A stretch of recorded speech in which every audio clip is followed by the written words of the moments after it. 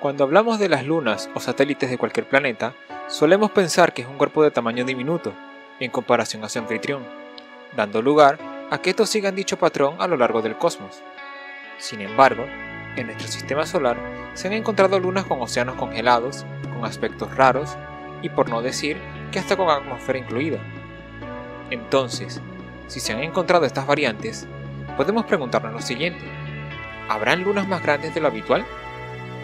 Pues, según estudios realizados con el telescopio Hubble en el 2018, existe un exoplaneta que alberga en su poder una luna bastante prominente. El nombre del planeta corresponde a Kepler 1625b, siendo un planeta del tamaño de Júpiter que por consiguiente también sea posiblemente un planeta gaseoso. No obstante, se nombra como Kepler 1625b a lo que sería su luna, que tiene un descomunal tamaño comparable con el del planeta Neptuno. Así es, tal y como escuchaste, este cuerpo tiene el tamaño de Neptuno, y según los análisis, muy posiblemente esté orbitando alrededor de este planeta como tal. De ser eso así, marcaría uno de los casos más únicos y raros del universo conocido hasta ahora, ya que el no haber detectado semejante caso en otros exoplanetas indica que de por sí no es muy común en el cosmos. No obstante, dichos estudios realizados no son muy concluyentes, debido a que el pensar entre comillas que el planeta tenga esta exoluna es lo más viable. ¿A qué me refiero con esto? te preguntarás. Los estudios de los exoplanetas vienen de la mano con estudiar sus características físicas.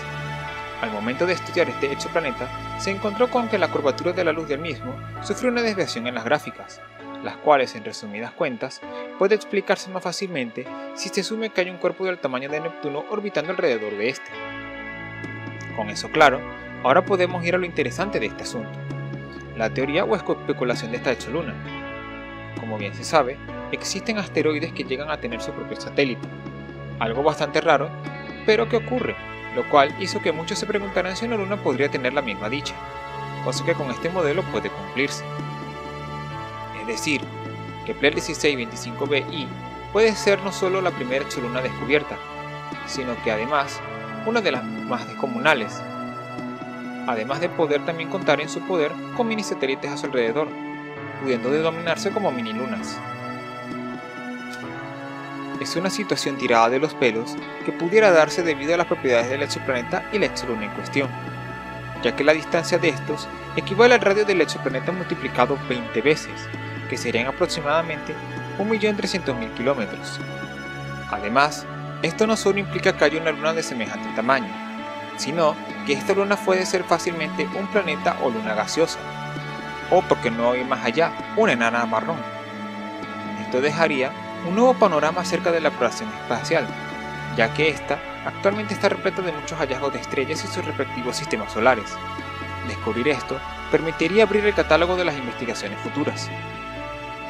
No obstante, la especulación sobre la explicación de este fenómeno no va solo de una única variante, como se dijo, lo más fácil de explicar es que se trata de una exoluna gigantesca.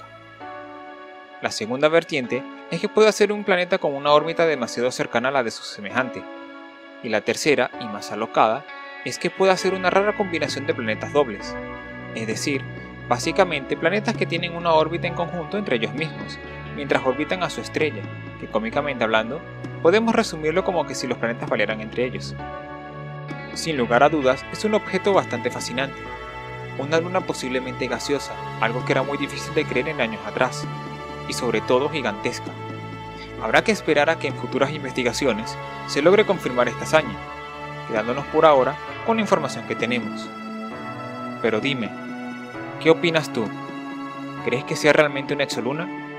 Puedes dejar tus opiniones en la caja de comentarios. Si el video fue de tu agrado y sientes que aprendiste algo con él, puedes darle me gusta y compartirlo. Si quieres ver más contenido como este, te invito a que te suscribas y actives la campanita. Muchísimas gracias por ver y llegar hasta el final. Yo soy su amigo Chucho, y si el universo lo desea, nos volveremos a ver próximamente en un nuevo video. Cambio y fuera.